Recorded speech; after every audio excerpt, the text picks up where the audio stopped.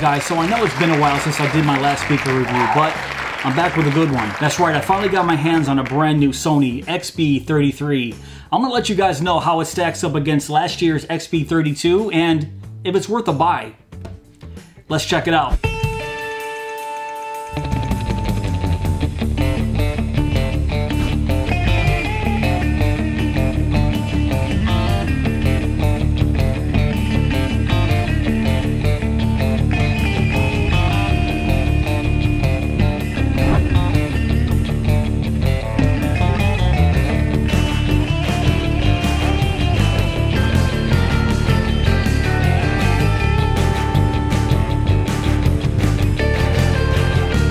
Alright, so let's get started here. As you can see, Sony redesigned the XB33 from the ground up. I mean, this looks nothing like last year's XB32. So here's my Sony XB32 that I reviewed about 11 months ago. And if I put these side by side, I mean, look at the differences here. I mean, taking a look at these two speakers side by side, I would never guess that this is last year's model. So first, let's look at the size difference here. I mean, it just dwarfs last year's XB32. And then flip it to the side and you can see yeah, there's a lot of changes going on here. There's a lot to talk about. And then let's check out the backs of each individual speaker. There you go. All right, let's put this off to the side and let's start talking about what has changed. So if you guys saw my review on the XB32, you're gonna know that I wasn't a big fan of all that soft touch rubber that they wrapped it in. I was a much bigger fan of the XB31 where if I show you the 32 here, it was basically the same design, but this fabric mesh was wrapped all the way around the back here so it didn't have this soft touch rubber.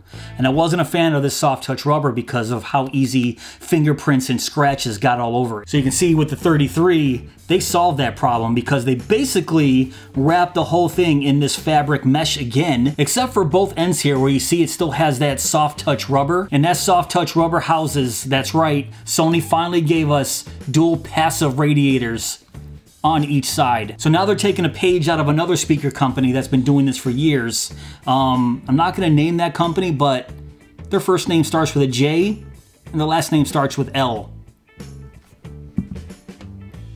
but I'll get into these dual passive radiators a little later on in this video when I talk about the sound. Yes, the XB33 does retain that LED light show as you saw in the 32, but as you can see here in the 32, it wraps from the top and the bottom right along to the sides. And as you see on the 33, it still retains that light show, but it wraps each of those radiators in a nice LED light show. So on the 32, we have the Sony logo right there, and we have the Sony logo on the very bottom. On the 33, we have it smack right there on the top left, and then on each passive radiator, we have the Sony logo. And if we look on the bottom, there's no more Sony logo, just two rubberized feet. So let's take a look at the function buttons on the top. This is what the XB33 used to look like here. We have one, two, three, four, five buttons, but they also double as other functions. And then on the new 33, we have one, two, three, four, five, six buttons. They also double as other functions, and I'm gonna go over those right now. So first off, we have the power button here. So it's just a one touch on, a one-touch off operation. Now this works exactly like the XB32. I wasn't the biggest fan of the one-touch on, one-touch off operation. I'm a much bigger fan of having to hold that power button down to turn it on and off. Now the XB32 didn't have a dedicated Bluetooth button. What you had to do was hold down the power button for a few seconds and then it started searching for your phone. The XB33 now does have a dedicated Bluetooth button. Now right next to that is the play pause button. Now if you hold that down, you can actually activate Siri on your iPhone. Or if you get a phone call while you're streaming music music you can answer your telephone just by pressing that button. You can actually talk and hear people through the speaker. Right next to that is the volume up, volume down button, which actually doubles as track forward and track back. Now next to that is the live button. You can actually switch between extra bass or live mode, which is their 3D surround mode. And if you hold down that live button, there's something new called stamina mode. Now on the XB32, it was just called standard mode, which is basically a power saving mode. And last but not least, right here, that isn't a button, that's just a near field communication symbol. All right, now let's flip it around to the back backside under this flap. So right here we have a USB Type A out. Now this speaker will double as a power bank just like the XB32. If you do have a charging cable, plug it in right there, plug in your phone, and you can start charging. And right next to that, that's right, Sony finally upgraded to USB Type C. So that was one of my biggest complaints on the XB32. It still used micro USB when there was a much better Type C available. And now finally, Sony gives us that USB Type C in, which to me is a huge upgrade. And right next to that, we have our light and battery button. So turning this on, if I press that battery button once, Battery fully charged. it's gonna give us our battery status. And if I hold that battery button down for a few seconds, it's gonna turn the LED lights off. So if I hold it back down for a few seconds, it should turn the lights back on. There we go. Now that button right next to it is the Party Connect button. Now that used to be the wireless party chain button. So you might be asking if your older XB32 or XB31 can still connect to the XB33 via wireless party chain. And that answer would be no. Sony basically ditched the wireless party chain for Party Connect. So that means the new Sony XB33 can only connect to the XB23, the XB33, and the XB43. And the button right next to that is the stereo pair button. That's exactly where the add button used to be. So that's right, this speaker will not pair to any other speaker other than another XB33. So the only way to pair this to another speaker to get that nice stereo sound is two XB33s, not an XB33 and an XB32. Now if I hold both of these flaps open on both of these speakers, can you tell me what's missing? Yeah, that's right. No more 3.5 auxiliary jack. Why would they do that, you say? Well, because they added Bluetooth 5.0. That was another big disappointment that I had with the 32 is it still had Bluetooth 4.2. So that's another thing that they upgraded. They finally gave us Bluetooth 5.0 and I'll be testing out the latency on a YouTube video because if they didn't give us that aux jack, there better be no latency from the YouTube video to this speaker. So you can see I picked up this speaker in the blue color. So there's four colors available. There's a red, this blue, a black, and a taupe color. I don't have too many blue speakers. I don't think I made the wrong choice at all. This thing's gorgeous. So obviously you can see they went with a radically different design than last year's model. And making such a drastic change in the design, they're bound to make some people unhappy with it, but for me, I love it. I mean, yes, the XB32 was a little bit easier to hold in your hands, but based on the way it's shaped back here, my hand fits perfectly around this back end. And as you can see, it gets wider as it gets to the front where those drivers are. And plus, I just wanted a fresh new look because the XB32 looked a lot like the XB31. So since it has a brand new fresh look, let's talk dimensions.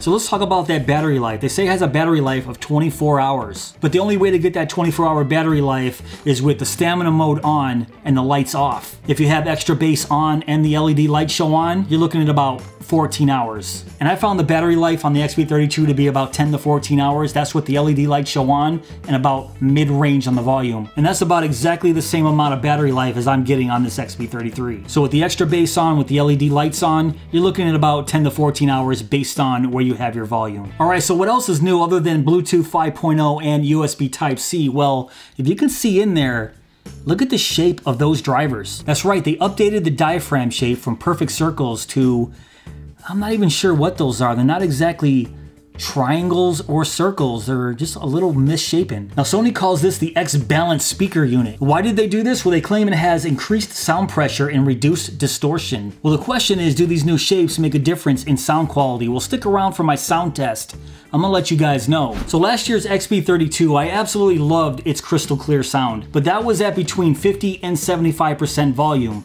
Anything over that, the bass got a little muddy and it drowned out the rest of the sound. But at 50 to 75%, I felt that it was one of the best sounding mid-range speakers that I've heard. So what about the new XB33? Well, let's get into that sound test right now. All right, so let's open up the Sony Music Center here. Now you can see there's the SRS XB33. Now, before I start the music test here, um, let's go over this app really quick. So you can see library right here. That's if you have any saved music on your phone, which I don't. Um, the music app right here. I'm not gonna go and do that, so let's back out of there. Also, you see Spotify there and Fiestable, but I'll get into that a little later on. So let's get into our settings, and under sound, you see Clear Audio Plus. Now, if you press that on, that's gonna be Sony's recommended sound settings right there. Now, if you wanna adjust your own bass, mids, and trebles, you can go right here, and you can see it has a three channel equalizer right here. So when I'm doing the sound test, after a little bit, I'm going to adjust these just to give you guys just a little idea of what this three channel equalizer can do. Next you can go to sound effect. Now you can see off stamina. That's where the standard used to be. And then you can switch it between extra bass and live 3D audio sound. So I'm gonna keep it in extra bass for right now. And right here, DJ effect, that's really interesting. I'll get into that a little later on. All right, so right now I'm just gonna put it in clear audio plus, go backwards, and let's play this song right here. No copyright music. And, and let's see, I'm going to adjust the volume right around 50% right there. So let's go. We're about two feet from the speaker.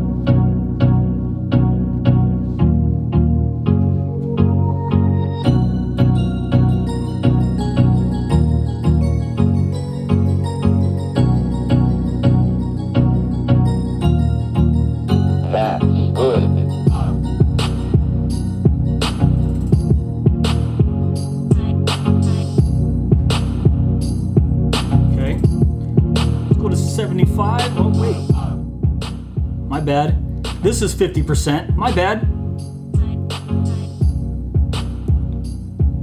Okay, 50%. Now let's go to 75.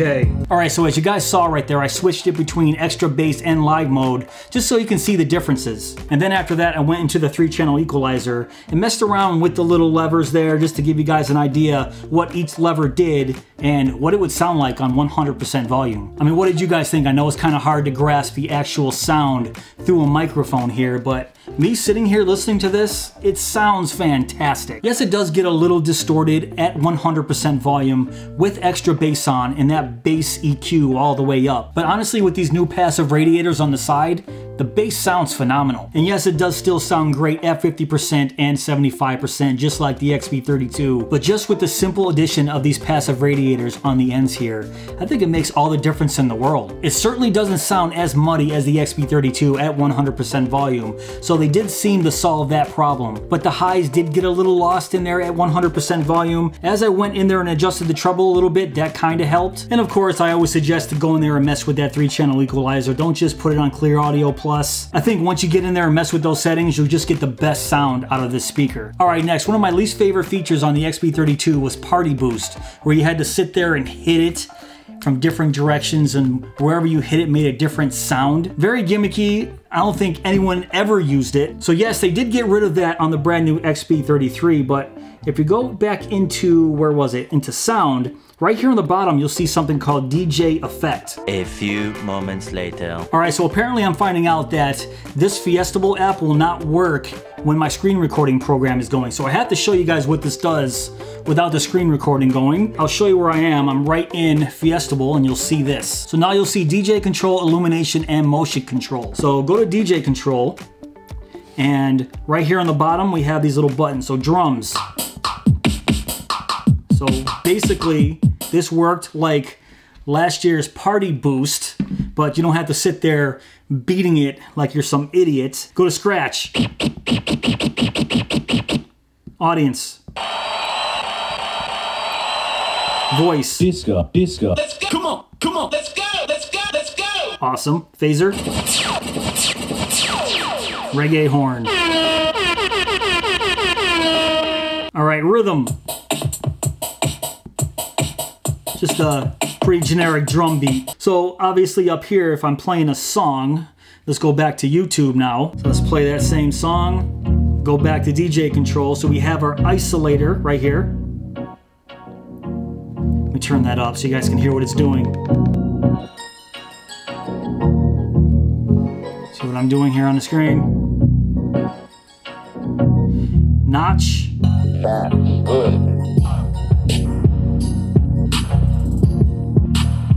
Cool. Noise.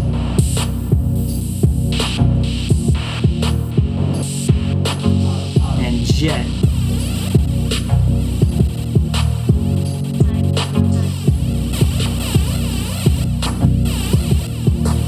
Pretty cool. Then obviously we have our party flash here, which we can change our LEDs, um, whatever color you want. It's not very in-depth, but it does give us some control. And if you don't want that party flash color, just go to custom and it gives us just a nice solid color as you guys can see. And then motion control. So this is where it gets a little weird. So check this out. So this is what you see here. It says if you rotate your phone,